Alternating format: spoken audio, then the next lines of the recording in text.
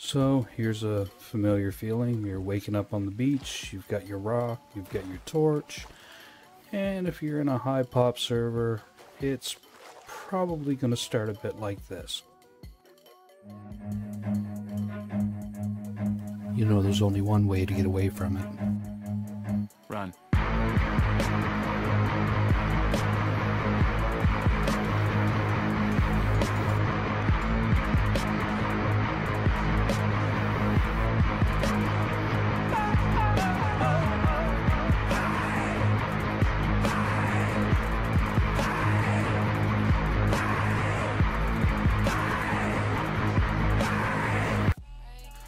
So, now that you've made it to Outpost, hopefully you've got at least one bag outside.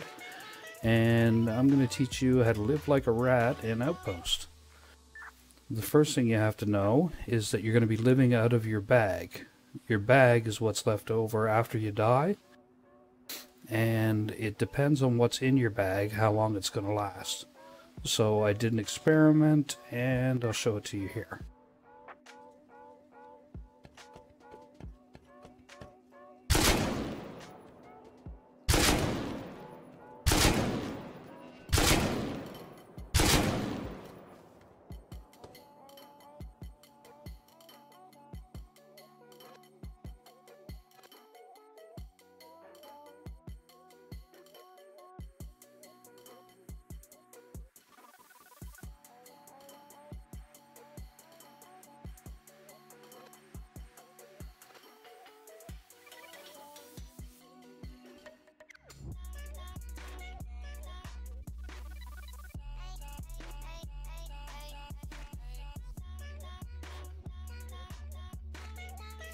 So as you can see, it uh, depends on what's in your bag, how long your bag's going to last after you kill yourself.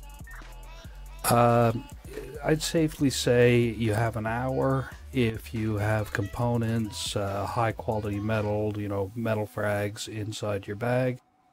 So I'd set an alarm for 45 minutes after you kill yourself or a timer to uh, be able to get back to the bag in plenty of time to be able to uh, pick it all up before it despawns. So this is why you're going to have sleeping bags outside, and I would suggest multiple sleeping bags outside of Outpost. Say three to four at the very least, just because some people will break bags as they see them. Once you kill yourself, you can uh, spawn over in a sleeping bag. Then you come back to your, you know, your body bag and take off whatever you want, uh, such as your tools or clothing, and then do a run to the nearby monument or take a run down the road or just go around the outside of Outpost to collect uh, any junk piles that are out there or, you know, any uh, resources that you can find. So now I'm just going to show you a few other helpful hints and tips that you can uh, use to maximize your time in Outpost you can use your rock to hit things inside of the safe zone. The only thing you can't hit are other players or the scientists inside. You can also use it to take down the signposts. So each signpost gives you one pipe and one road sign. But far more effective is the paddle. So as soon as you can, you should get a paddle. If you have to go to a fishing village to get the blueprint, or many times you'll just pick one up in barrel. These two machines contain the clothing and the tools. So if you need cloth while you're here in Outpost, you can buy a pair of the gloves at the bottom for 40 scrap and that will give you 20 or sorry 200 cloth when you recycle all the sewing kits inside. But we're looking for the pickaxe. Out around outpost you can uh, find some or, or some nodes. Uh, so if you want to get some stone this is a way to do it just staying within the safe zone. You can actually use your rock to collect as much as you'd like this one, though, is actually close to the edge of the safe zone. So, if you quickly run in, hit it a couple of times and then switch off, you can use your pickaxe to uh, take it down. Or it's even faster if you get a jackhammer. Now the reason I only got the pickaxe instead of the pickaxe and the axe is because you can actually trade for wood here in Outpost. So you can see we get 500 wood for every 150 stone. So we're going to buy a pile.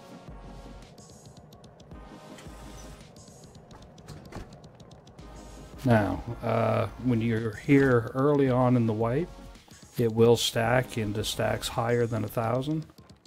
But when you come later on, it'll actually only stack in thousands. So if you want to be able to carry more than uh, you can actually fit in your inventory, what you're going to do is you're going to spam a bunch of tool cupboards. So you have 30 seconds between each tool cupboard to make it back to your base or wherever you're going. And what you can do is you just right click one and that'll take it up into the head of it. So you can have another 30 seconds starting again. So usually I'll let it get down to about 10, then right click one to reset. See? Also in these vending machines, you'll notice that uh, you can buy a lot of your resources for scrap. You have your stone, your metal, your wood, and your low grade. You can get from scrap. Uh, also, it has some components that you can buy. Uh, they're quite expensive, but if you're not having luck picking them up, it, it is a place to get them. Now, if you needed high qual, you can actually come over here to this machine and for 75 scrap you can buy a solar panel which will give you three high qual when you recycle. Also here in Outpost, of course, you have your tier 1s, which you can actually go on the tech tree and learn things quite quickly. So for 95 scrap, you can actually get down to the ore, because it takes uh, 75 for the salvage hammer and then 20 for the paddle. Or you could uh, learn the tools as well. And then if you actually pick something up in one of the crates outside, you can come over here and just learn it on the research bench. Also, over here, we have the repair bench, and that way if uh, your tools are getting beat up, you can repair them. Now, as you progress here in Outpost, uh, you may find a revolver or buy one here and want some ammunition for it, or a shotgun, or maybe you find a satchel and a bean can and you want to start raiding. Well, you can come here, and if you buy the smoke grenades, when you recycle them, just grab one. You will get 18 gunpowder and 25 metal frags. So with that, it's uh, quite easy to get enough to get some ammo. Uh, actually, to make one satchel, it's going to cost you 70 scrap worth of uh, bean cans. So you're going to need 14, or sorry, worth of smoke grenades. So you're going to need 14 smoke grenades, recycle them, and make your satchel. One of the downfalls of the post is there's no food for sale here, but there are sometimes animals that roam into the safe zone. Now while they're in the safe zone, you can attack them with your rock or your paddle. Uh, I'd suggest a paddle because they're not uh, overly aggressive, but they will still try to attack. So you can run in.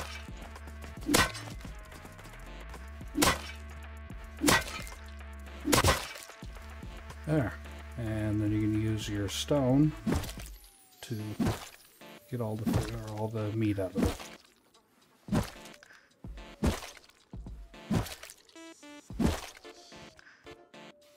Once you have some meat, you can come over to the chill zone and just put it all in the barbecue.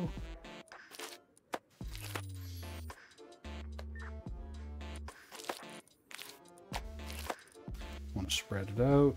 And it only takes uh, three wood to actually fully cook, so if you don't want to have to tend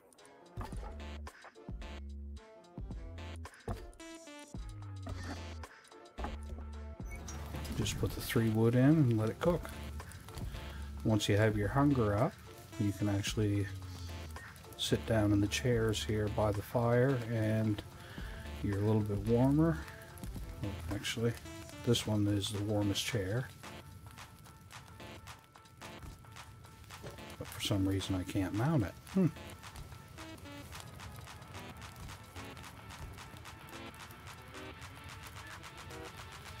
Okay, well, anyway, you get 100% comfort, and that'll help you build your health back up. Also, on the other side of the stage, you've got the water barrel that you can just drink out of to get your thirst up. Later on in the game, uh, maybe you've uh, got a mini heli and you'd like to find a place that's a little safer to park it than down here. So I'm just going to show you a couple spots where you can throw a heli. Uh, the first one's really easy, so being such, uh, it's not a real safe place to put it, but a lot of people don't know that they're able to jump over, and you can land your heli over here. Another place it's a little harder to get to, but that'll make it safer for your Mini, is up top. You can park it here, here or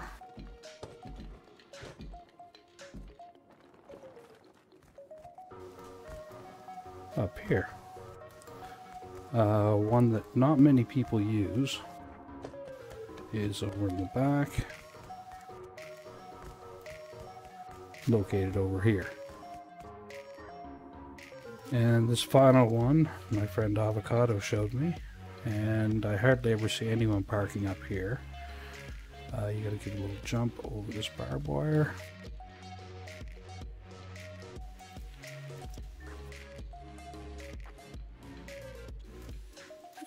Jump up.